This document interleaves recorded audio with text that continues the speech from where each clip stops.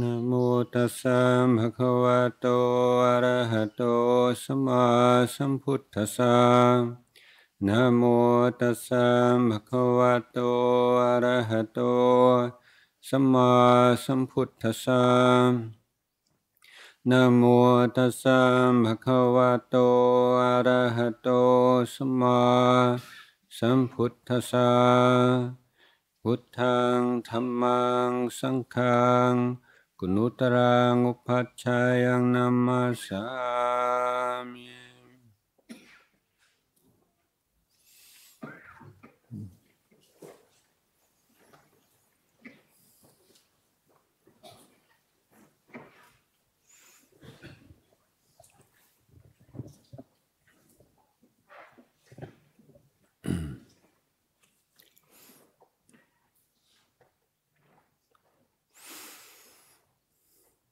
วันก่อนมาได้ได้ข่าวว่าทูตสหประชาชาติมาเมืองไทย แล้วก็แสดงความเห็นว่าไม่ไม่เห็นด้วยกับโครงงานจะสอนพุทธศาสนาในโรงเรียนของไทย เพราะมันล่วงเกินสิทธิมนุษยชน ของคนนับถือศาสนาอื่น หรือว่าจะเป็นอันตรายต่อศาสนาอื่น เพราะที่ไหนที่ทางรัฐสนับสนุนศาสนาใดศาสนาหนึ่ง ก็จะนำไปสู่การกดขี่และการเอารัดเอาเปรียบศาสนาอื่น ซึ่งอาตมาว่าการการพูดของทูตยูเอ็นคนนี้ก็อ อยู่ในลักษณะปล่อยไก่แสดงว่าเขาไม่เคยทำการบ้านเรื่องพุทธศาสนา ไม่รู้จักพุทธศาสนา ซึ่งมันเป็นเป็นปัญหาที่เจอบ่อยว่าทุกวันนี้คนเข้าใจว่ามีสิ่งใดสิ่งหนึ่งที่เรียกว่าศาสนา ซึ่งมี คุณลักษณะที่คล้ายๆกัน แล้วก็มีโดยเอาศาสนาคริสต์ศาสนาอิสลามเป็นโมเดล ถือว่าทุกศาสนาต้องเหมือนกัน สิ่งใดที่เกิดขึ้นหรือเคยเกิดขึ้น ในประเทศที่มีศาสนาคริสต์เป็นศาสนาประจำชาติ หรืออิสลามประจำประจำชาติก็ยอมเกิดขึ้นในเมืองพุทธ แต่ที่อาตมาพยายามพูดบ่อยๆ ก็คือพุทธศาสนา เป็นศาสนาคนละตระกูล คนละประเภท คนละพันกับศาสนาเหล่านั้น เพราะสิ่งที่ทำให้เกิดความแตกแยก หรือทำให้ศาสนาใดศาสนาหนึ่งเป็น ศัตรูกับอีกศาสนาหนึ่งจะทำให้เกิดความขัดแย้งหรือการกดขี่กันก็คือการให้ความสำคัญกับความเชื่อในคำพีกำหนดความเป็นศาสนิกชนโดยความเชื่อในคำสอนสิบข้อบ้างห้าข้อบ้างอะไรอะไรบ้าง โดยถือว่าผู้ที่เชื่ออย่างนี้เท่านั้นที่จะขึ้นสวรรค์ได้หมายถึงว่าเงื่อนไขสำคัญที่สุด ที่จะนำไปสู่การขึ้นสวรรค์และการตกนรกคือศรัทธาคือความเชื่อฉะนั้นถ้าเราเชื่อว่า เชื่ออย่างนี้จะทำให้มีความแปลกแยกทันทีว่าพวกเราพวกเขา ซึ่งจะเป็นความขัดแย้งมากขัดแย้งน้อยก็ขึ้นอยู่กับเหตุปัจจัยหลายประการ แต่ในเมืองไทยนี่เรามีความพิเศษอย่างนึงคือหนึ่งคนไทยนับถือพุทธศาสนาฝ่ายเทรวาส90 กว่าเปอร์เซ็นต์ ซึ่งทำให้เมืองไทยได้เปรียบประเทศอื่น เพราะเอกภาพทางศาสนา ความเป็นสมานฉันในสูงมาก แล้วการแล้วพุทธศาสนาเป็นศาสนาแห่งการฝึกตน ไม่ใช่ศาสนาที่เน้นที่ความเชื่อ เป็นศาสนาแห่งการกระทำแห่งการพัฒนา กายวาจาใจนี่คือหัวใจของศาสนาอันจะเห็นในเมืองไทย สิ่งที่เราน่าจะภูมิใจมากก็คือ ไม่เคยมีปาในประวัติศาสตร์ ทั้งหลายร้อยปีที่ชาวพุทธได้เบียดเบียน ได้กดขี่ผู้ที่นับถือศาสนาอื่น มีแต่เป็นมิตรกับศาสนาอื่น ตลอดเวลา ซึ่งถ้าใครเคยอ่านหรือว่าศึกษาทางประวัติศาสตร์เรื่องนี้อัศจรรย์มาก ไม่รู้จะมีที่ไหนในโลกที่เป็นอย่างนี้ที่มีศาสนาที่คนในประเทศหนึ่ง นับถือกันถึง 90%แล้วไม่เคยเอาเปรียบคนที่นับถือศาสนาอื่น คนจำนวนเป็นแสนหรือไม่กี่ล้าน มันทำไมมันเป็นอย่างนั้นไม่ใช่ว่าคนไทยจะมีความแตกต่างกับคนที่ประเทศอื่นเท่าไหร่ใช่ไหมแต่มันอยู่ที่หลักศาสนานั้นอาตมาจึงจึงว่าความคิดเห็นของอาตมาตรงกันข้ามกับทูต UN ยิ่งมีความรู้ความเข้าใจในพุทธศาสนาคนคนไทยยิ่งมีความรู้ความเข้าใจในพุทธศาสนา ยิ่งไม่เบียดเบียนศาสนาอื่น ยิ่งไม่เอารัดเอาเปรียบศาสนาอื่น แต่เมื่อคนไทยขาดความรู้ความเข้าใจในหลักพุทธศาสนา มีสิทธิ์มีโอกาสที่จะเกิดความขัดแย้งกับศาสนาอื่นได้ เพราะศาสนาเราเป็นศาสนาแห่งการฝึกตน คนเราจะเกิดความรู้สึกว่าเราว่าเขา รังเกียจคนอื่น รังเกียจด้วยสีผิวด้วยเชื้อชาติวันนั้นเป็นธรรมชาติของพุทุชน แต่พุทธศาสนามีวิธีฝึกคนฝึกตนให้พ้นจากความแบ่งแยก พ้นจากความยึดมั่นถือมั่นต่างๆนานา พุทธศาสนาสอนให้เราเห็นว่าทุกคนในโลกนี้เป็นเพื่อนเเกิดแก่เจ็บตาย ทุกคนในโลกนี้รักสุขเกลียดทุกข์ แล้วชาวพุทธเราชื่อว่า ไม่ว่านับถือศาสนาไหน หรือไม่ไม่ว่าไม่นับถือศาสนาอะไรเลย ถ้าเป็นคนดี ซื้อสัตย์สุจริตมีเมตตา มีความเอื้อเฟื้อเผื่อแผ่เสียสละเพื่อส่วนรวมเป็นต้น ก็จะมีสิทธิ์ขึ้นสวรรค์ ไม่ได้เกิดเพราะเชื่อในคำพีใดคำพีหนึ่ง เหตุปัจจัยที่นำไปสู่การเกิดในภพภูมิที่ดีคือการกระทำด้วยกายวาจาใจ ไม่ได้ขึ้นอยู่กับชื่อว่าเราเป็นพุทธ ชื่อว่าเราเป็นคริสต์ชื่อว่าเราเป็นอิสลามเพราะนั้นพุทธศาสนาเนี่ยมีมีคำตอบตอบปัญหาความขัดแย้งระหว่างศาสนา ไม่ใช่เป็นส่วนหนึ่งของปัญหา เป็นส่วนหนึ่งของการแก้ปัญหา แล้วการสอนหลักพุทธศาสนาที่ถูกต้องในโรงเรียน ก็เป็นการเป็นสิ่งที่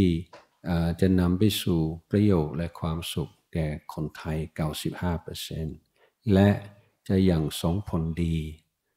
ต่อคนอีก 5%หรือกี่เปอร์เซ็นต์ที่ไม่เป็นพุทธ นั้นเอาสำคัญมากที่เราเราได้สำนึกเราได้เข้าใจในเอกลักษณ์ของศาสนาพุทธของเราในเวลากำหนดศาสนาทั้งหลายเป็นอย่างนั้นอย่างนี้ ถ้าศาสนารับการสนับสนุนกับรัฐเมื่อไรก็จะยุ่งเมื่อนั้น ซึ่งเราก็ต้องแยกประเด็นใช่ที่เคยเห็นในโลกตะวันตกเป็นอย่างนั้นจริง แต่ในเมืองไทยเนี่ยไม่เคยมี มีไหมในที่อย่างอย่างที่อาตมาเคยยกตัวอย่างในหลังจาก9-11ที่เขาทำลาย The World Trade ที่นิวยอร์กชีวิตคนอิสลามในในอเมริกาในน่าสงสาร คนรังเกียจคนระแวงอยู่ตลอดเวลา เพราะการกระทำของคนไม่กี่คนใช่ไหม คนที่เป็นชาวบ้านธรรมดาไปไหนก็รู้สึกไม่ปลอดภัยบางทีก็ถึงกับถูกทำร้ายร่างกาย นี่แค่เพราะเหตุการณ์หนึ่งที่เกิดขึ้นเมื่อหลายปีที่แล้ว ส่วนในในประเทศไทยเรา ซึ่งถึงไม่ว่ามีปัญหาทางปากใต้ที่ค่อนข้างจะรุนแรง แต่อาตมาไม่เคยได้ยินว่ามีคนอิสลามในประเทศไทยในจังหวัดไหนที่รู้สึกไม่ปลอดภัย เพราะเรื่องนี้ เพราะคนไทยไม่คนชาวพุทธเราไม่คิดอย่างนั้นใช่ไหมไม่คิดเพราะมีชาวชาวอิสลามมีมีการก่อการร้ายในปักใต้ เพราะฉะนั้นชาวอิสลามทั้งหลายทั้งปวงน่าเกลียดน่ากลัวเราต้องดีละคนแล้วเราก็ให้เกียรติคน แล้วก็ไม่ได้ประทับตราคนเพราะความความเชื่อความนับถือเพราะเชื่อชาติ แล้วก็ให้เกียรติว่าเป็นเพื่อน เพื่อนเกิดแก่เจ็บตาย อันนี้หลักสำคัญมากนั้นถ้าถ้าหากว่าเราไม่เข้าใจอย่างนั้นแล้วเราก็ไปเชื่อตามที่เขาว่าเรามันก็กลายเป็นว่าชาวพุทธเราเสียเปรียบไป ชาวพุทธเราเสียเปรียบเพราะเกรงใจคนที่ไม่เข้าใจเพราะนั้นในในในทางพุทธศาสนาการการทำความเข้าใจในเอกลักษณ์ของของพุทธศาสนาไม่ใช่เพื่อจะแบ่งแยกได้ตรงกันข้ามแต่น้อยเพื่อจะได้รักษาความเป็นพุทธของเราไว้ และเมื่อมีใครกล่าววิพากษ์วิจารณ์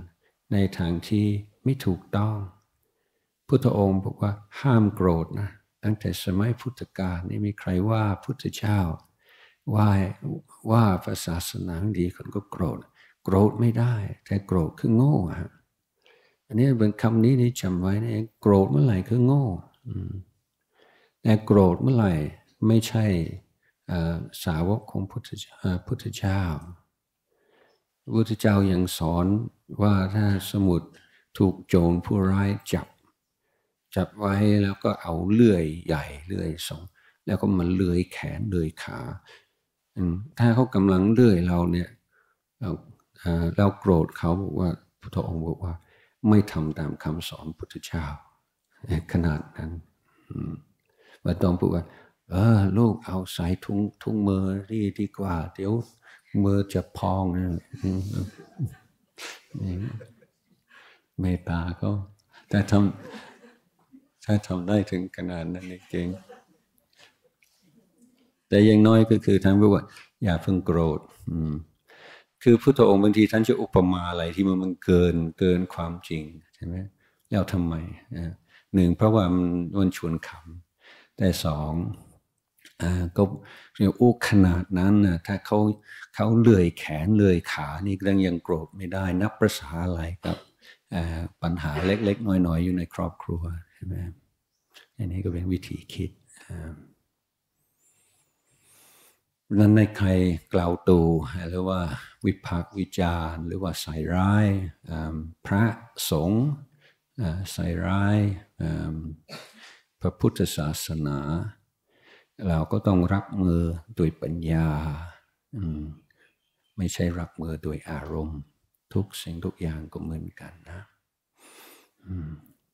บางทีเราคิดว่าเรามีสิทธิ์ที่จะโกรธ เพราะเขาว่าเราแรงๆ เป็นต้น ไม่ฮะไม่มีสิทธิ์ที่จะโกรธ คือโกรธคือโง่ ไม่มีสิทธิ์จะโง่ทำไมความโกรธเป็นโง่ก็คือโกรธก็เกิดจากความคิดผิด และโกรธแล้วการแสดงออกเป็นจะเป็นไปในทางที่ไม่พอดี เกินเกินพอดี พูดแรงกว่าที่ตั้งใจจะพูดทำอะไรที่มัน แรงแรงตามพลังของของโทสะแล้วเมื่อเมื่อโกรธครอบความโกรธครอบงำจิตใจเนี่ยจะคิดแบบละเอียดอ่อนแบบแบบคิดวิเคราะห์อะไรไม่ได้ใช่ไหมความปัญญานี่ไม่ทำงานนะเวลาเราโกรธมันจึงว่าโง่นั้นใน ในเมื่อพุทธศาสนาเป็นศาสนาที่มีเอกลักษณ์ที่ค่อนข้างจะแหวกแนวจากศาสนาอื่น ก็เป็นเรื่องธรรมดาที่คนที่นับถือศาสนาอื่นไม่เข้าใจ และแม้แต่ผู้ที่มีชื่อว่าพุทธก็ไม่เข้าใจกันเยอะ ก็เรียกว่าเป็นเรื่องธรรมดา แต่หน้าที่ของเราที่ได้ศึกษาได้ปฏิบัติในระดับหนึ่งก็คือการ ชี้แจง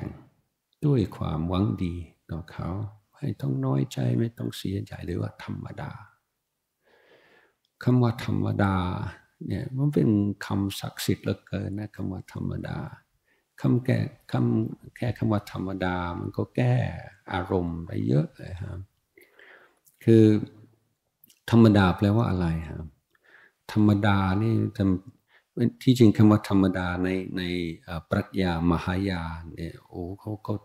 ยกเป็นสูงเนี่ยเรียกว่าธรรมตาตารมถาเนี่ยก็หมายถึงว่าสิ่งทั้งหลายเป็นเช่นนี้เองเป็นเช่นนั้นเองตามเหตุตามปัจจัยของมันเห็นไหมเอาทำไมมาเป็นอย่างนี้ เอาเมื่อเหตุมีปัจจัยอย่างนี้มันก็ต้องเป็นอย่างนี้ มันจะเป็นอย่างอื่นได้ยังไง นั้นเราก็ต้องศึกษาความเป็นไปได้ตามเหตุตามปัจจัยนี่คือทางไปสู่ปัญญา ทุกสิ่งทุกอย่าง อย่างอาตมาสังเกตตอนตอนไปเยี่ยมบ้านนะจะอาตมาจะไปอังกฤษปีละครั้งเนี่ยไปอยู่ทางยุโรป ปีละครั้งไปเยี่ยมยมแม่ ก็ได้ซึมซับ วัฒนธรรมอังกฤษบ้างสนใจดูก็ไปเหมือนนักวิทยาศาสตร์ตอนตอนที่ไปอังกฤษเหมือนไปต่างประเทศก็ได้ก็รู้สึกโอ้เขาแปลกบางทีคือสำหรับจะมาในอังกฤษเหมือนเป็นเป็นที่เราเคยไปเรียนหนังสืออยู่ตอนเด็กนะฮะ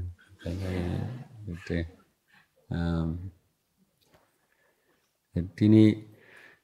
ที่ที่สังเกตความเปลี่ยนแปลงคือทุกวันนี้ทำให้คนโกรธตลอดเวลาไอ้คนคนอังกฤษนะแม่รู้สึกจะเครียดจะโกรธ พร้อมที่จะโกรธตลอดเวลาในคล้าย ๆ อย่างนั้นมันจะดูดูถูกดูผิดไม่แน่แต่ว่าคล้าย ๆ อย่างนั้น แต่ที่ที่ที่สังเกตนะคือเมื่อมีปัญหามีอะไรเนี่ยจะต้องใครว่าต้องโทษใคร ใช่ไหมเป็นความผิดของใคร เป็นความผิดของฝ่ายนั้นหรือเป็นความผิดของฝ่ายนี้ฝ่ายนี้แหละผิด ไม่ใช่ไม่ใช่นี่ฝ่ายนี้แหละผิด คือมันก็ต้องตัดสินว่าฝ่ายใดฝ่ายหนึ่งผิดฝ่ายใดฝ่ายหนึ่งถูกใช่ไหมแต่ทางพุทธแล้วแล้วไม่ต้องไปคิดว่าจะเบลมใครจะโทษใคร จะถือว่าเรื่องนี้เกิดขึ้นอย่างไร แต่ละฝ่ายนี้มีส่วนร่วมในการสร้างปัญหาอย่างไรนั้นกลายกลายเป็นทุกวันนี้กลายเป็นว่าถ้าใครโดนโดนทำร้ายอย่างไรถ้าบอกว่าเอที่เขาทำอย่างนั้นทำอย่างนี้ก็ไม่ค่อยจะดีเขาบอกโอ้พูดอย่างนั้นไม่ได้มันเป็นการโทษ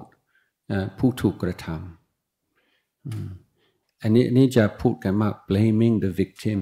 พูดไม่ได้แต่ถ้าทางพุทธเราแล้วบอกว่าในในการที่เรื่องใดเรื่องหนึ่งจะเกิดขึ้น ก็ต้องมีเหตุปัจจัยประกอบกันเข้าเรื่องนั้นมันจึงจะเกิดขึ้น ซึ่งเราก็เปลี่ยนจากดูว่าจะโทษใคร ไม่ได้ดู blame เราดู contribution อะไรคือ contribution ไอ้คือส่วนร่วมของแต่ละฝ่ายหรือแต่ละส่วนที่เกี่ยวข้อง ให้เปลี่ยนจากการมองเป็นคนในชั่ว คนในดีและคนในถูกคนในผิดว่าเรื่องความสลับซับซ้อนในในเหตุปัจจัยที่ทำให้เรื่องนี้เกิดขึ้น ก็จะต้องคอยแยกแยะต้องดูให้ให้ละเอียด ใช่คนนี้เป็นฝ่ายทำแต่การที่อีกฝ่ายหนึ่งเขาเขาพูดอย่างนี้เขาทำอย่างนี้มันมันก็มีส่วน นั้นเราก็ถือว่าทั้งสองฝ่ายมีส่วน คนในอาจจะมีส่วนตั้ง 80 90เปอร์เซ็นต์อีกฝ่ายหนึ่งทั้ง 10เปอร์เซ็นต์20เปอร์เซ็นต์แล้วแต่แต่เราจะพ้นจากการแบ่งแยกว่าเป็นขาวเป็นดำเป็นชั่วเป็นดี เป็นทุกข์เป็นผิด ด้วยการเห็นว่าใครมีส่วนอย่างไรบ้าง ปัญหาที่เกิดขึ้นกับเรา ปัญหาเกิดขึ้นกับครอบครัวกับศาสนาของเราทุกอย่างก็เหมือนกัน ไม่ต้องตัดสินว่าใครถูกใครผิดทันทีไปดูว่าในในการสร้างปัญหาที่เกิดขึ้นในปัจจุบันเนี่ยทั้งฝ่ายเนี่ยมีส่วนมีส่วนอยู่บ้างไหมอย่างทุกถูกเขากลั่นแกล้ง ถูกเขาเบียดเบียน ถูกเขาเอารัดเอาเปรียบโอ้ยใช่แย่มาก แต่เราเราไม่มีส่วนเลยแล้วจนเลยทำให้เรื่องนี้เกิดขึ้น มักจะมีเหมือนกันใช่ไหมคือการที่เรายอมรับว่าปัญหาทุกทุกทุกอย่างเราก็ต้องมีส่วนไม่มากก็น้อยถึงจะน้อยนิดเดียวต้องเขาเดียวต้องยอมรับว่าเรามีส่วนเหมือนกัน ในการทำให้ถึงขั้นนี้ แล้วดูไอ้ปัญหาสังคมทั่วไปโอ้ทำไมสังคมมันเป็นอย่างนี้มันเป็นอย่างนี้เหมือนกับเราไม่ใช่ส่วนหนึ่งของสังคม และหลายสิ่งหลายอย่างในในสังคมที่เราวิพากษ์วิจารณ์และถือว่าไม่ไม่ดีเลย ถ้าถามตัวเองตรงๆว่า แล้วเราไม่เคยมีส่วนใน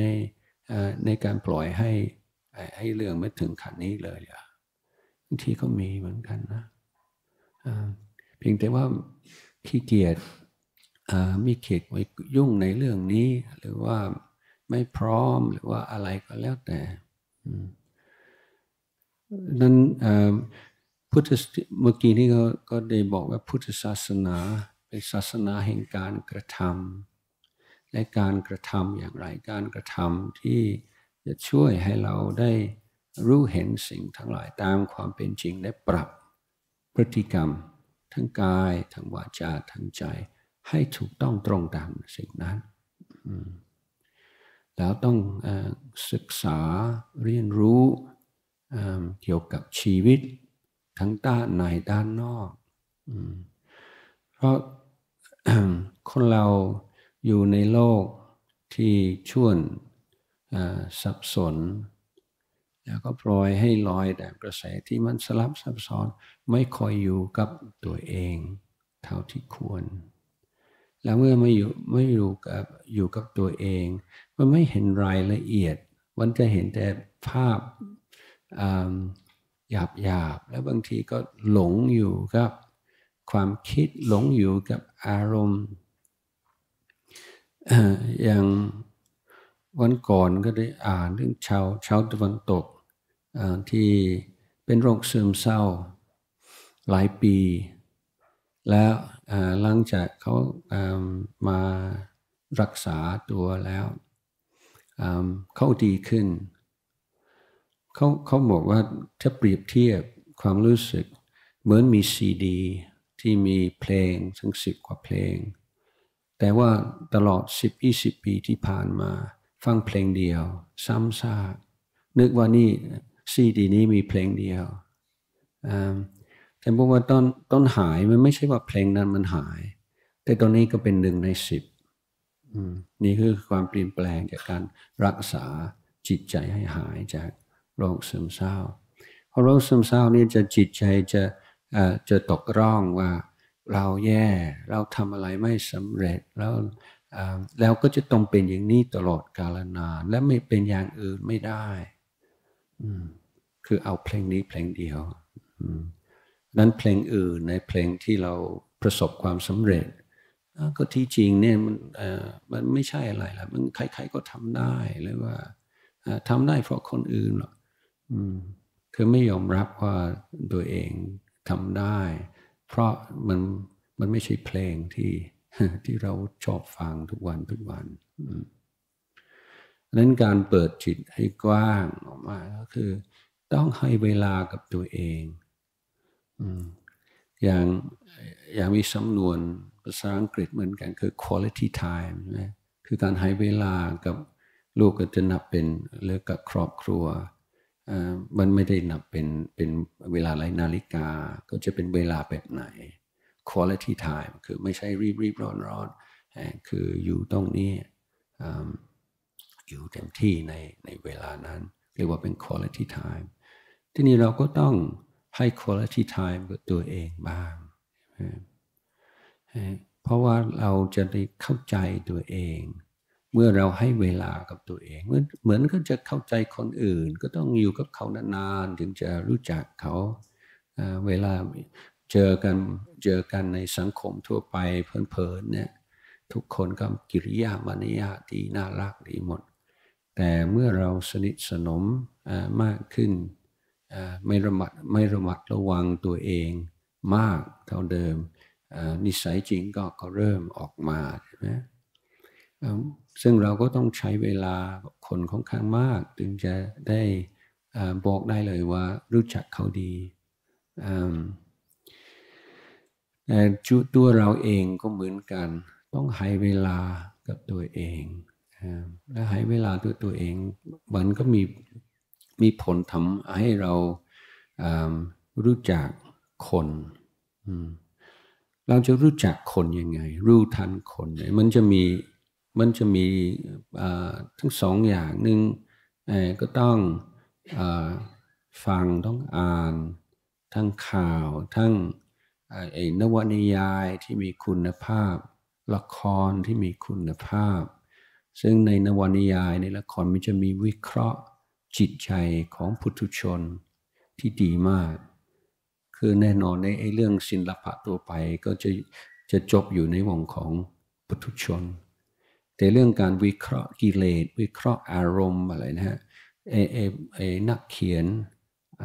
เขียนได้ได้ดีมากอาตมาได้ความรู้เรื่องธรรมชาติของมนุษย์จากจากนวนิยายจากละครตั้งแต่เป็นนักเรียน สมัยนั้นเนี่ยชอบอ่านชอบดูโดยเฉพาะอย่างอย่างชังเชคสเปียร์เนี่ยอาตมาว่าได้อาตมาพูดตรงๆเนี่ย จากสักสิบหน้าของเชคสเปียร์ได้จากเชคสเปียร์มากกว่าคัมภีร์ไบเบิลทั้งเล่มทีเดียวแต่ไม่ได้อ่านทั้งเล่มเลยครับแต่ว่าคือเออเนี่ยมนุษย์เป็นอย่างอ๋อใช่ใช่ใช่รู้สึกเข้าใจตัวเองเข้าใจอะไรต่ออะไรมากอืมแต่นี่คือด้านนอกการศึกษาด้านนอก แต่ด้านในเนี่ยเมื่อเรากำหนด ลมหายใจเข้าลมหายใจออกแล้วจิตใจที่มันเคยเพลินอยู่กับอารมณ์ หรือว่าลอยตามอารมณ์หลากหลายนั้นมันก็จะต่อด้าน แล้วกิเลสต่างๆ ก็จะปรากฏขึ้น ซึ่งเหมือนเราเป็นนู้ทดลองเห็นไหมเราก็จึงมีโอกาสได้ดูอารมณ์ต่างๆ เรียกว่าเป็นอารมณ์ศึกษา คือบางคนเขาใจว่านั่งสมาธิเพื่อจะได้ความสงบ และทุกสิ่งที่ทุกอย่างที่เกิดขึ้นก่อนที่จะสงบเนี่ยมันว่าน่ารำคาญมันเป็นอุปสรรคหรือว่าน้อยใจว่าทำไมที่จริงนี่แหละเออคือตรงที่จะได้กำไรทางปัญญามากเลย เพราะจะเข้าใจในธรรมชาติของจิตใจ วิถีของของจิต แล้วจะได้รู้ว่าความโลภ ความโกรธ ความหลง ความอิจฉาพยาบาท ความขี้เกียจขี้คร้าน ความฝุ่งซ่าน ความวุ่นวาย ความวิตกกังวล สิ่งเหล่านี้จะพุทธขึ้นมา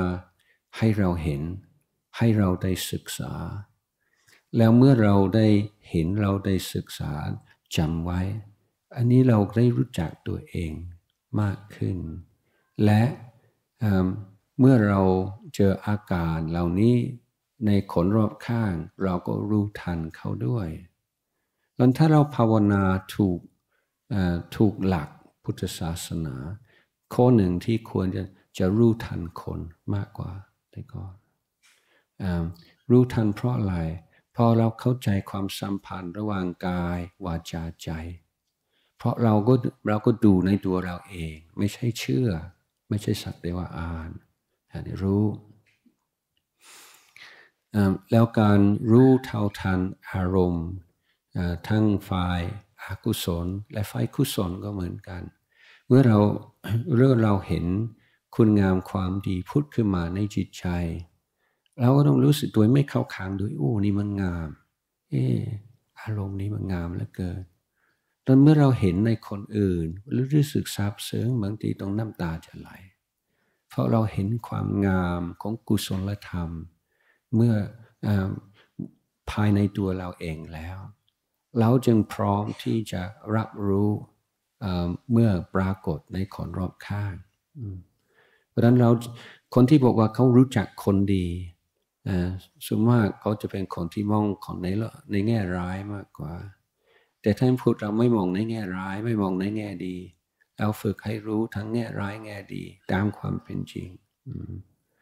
แต่งานนี้ในความสามารถนี้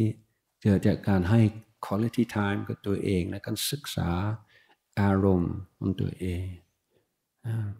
มีโอกาสจะเรียนรู้ได้มากเลย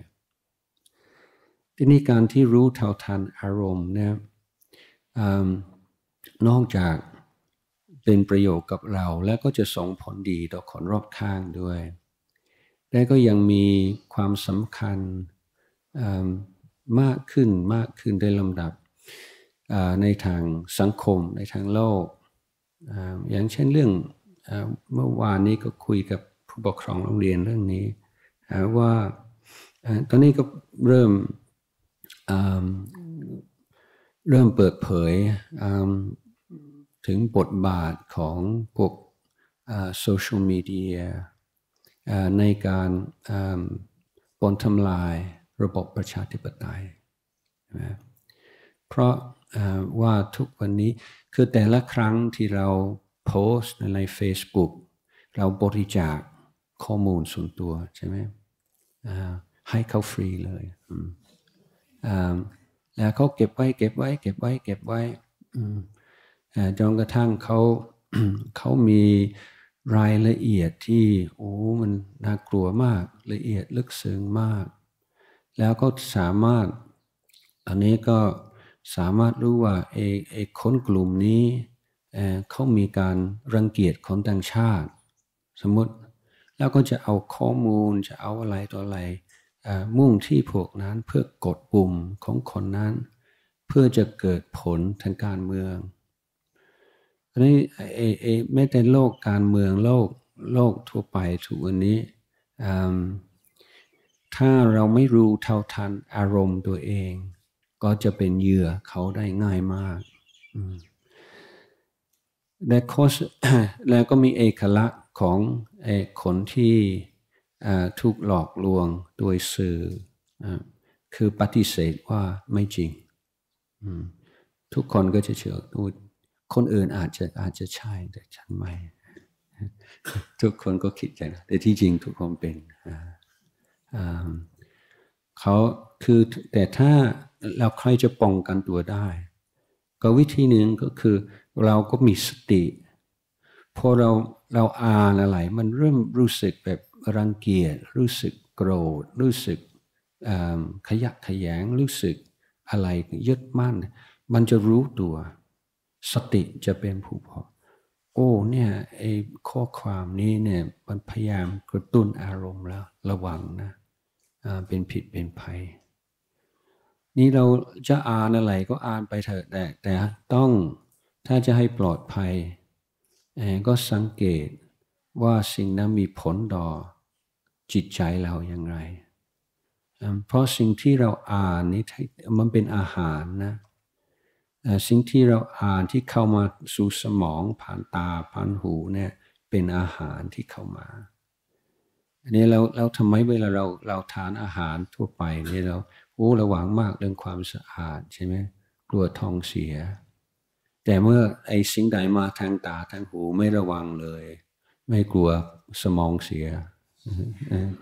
ในสมองเสียนี่มันอันตรายว่าท้องเสียนะนั้นวิธีที่จะป้องกันตัวนะคือการภาวนานะ เพราะว่าเราจะรู้พอเราเราจะมีความรู้ไหวมาก หรือว่าอารมณ์เกิดขึ้นว่าเออทำให้เรารังเกียจหรือว่าคนที่ไม่ชอบเนี่ยโดนทำลายเลยสมน้ำหน้าอะไรอย่างเงี้ย